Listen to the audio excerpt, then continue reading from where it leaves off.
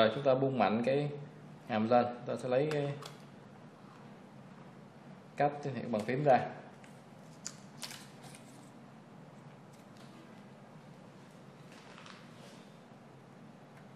Đây thì chúng ta quan sát ở đây sẽ là ổ quan à, vị trí ổ quan ổ quan đây.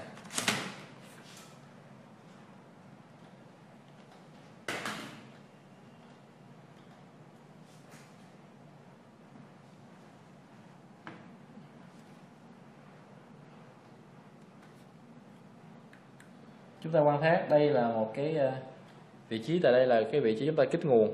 Thì chúng ta có cần kiểm tra xem cái vị trí trụ chúng ta có bị lỗi không. Nhiều khi cái ờ, vị trí kích nguồn chúng ta nó có vấn đề rồi nó cũng dẫn đến vấn đề là kích nguồn không được.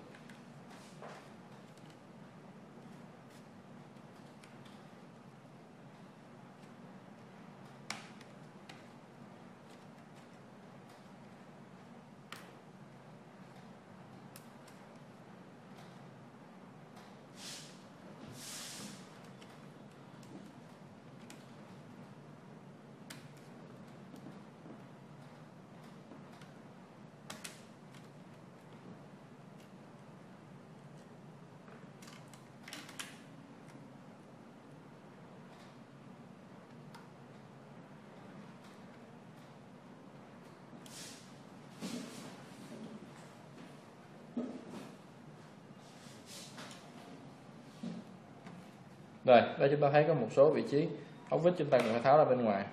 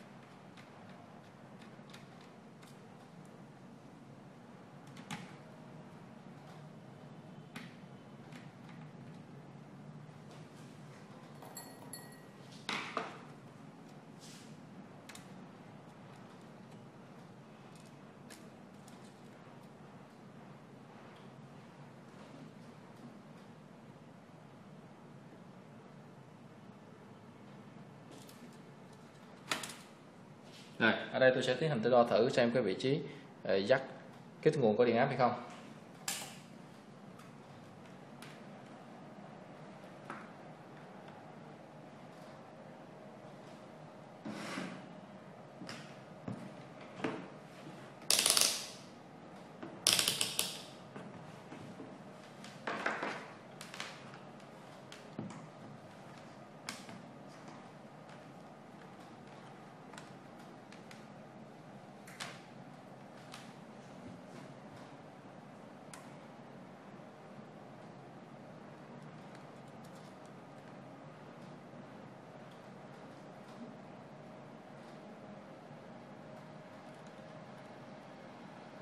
À, hiện tại.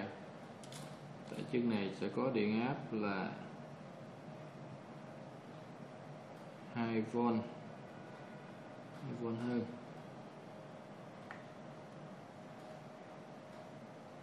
Chân này là khoảng 3V3 chân này không có chân này là cũng khoảng 3V3 chân này cũng 3V3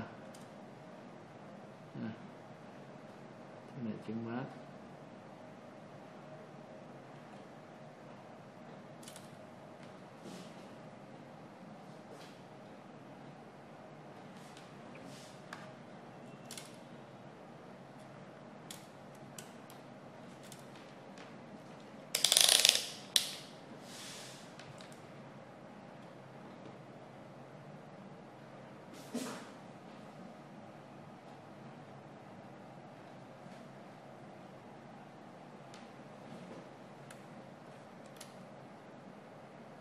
Chân này là chân mát ha.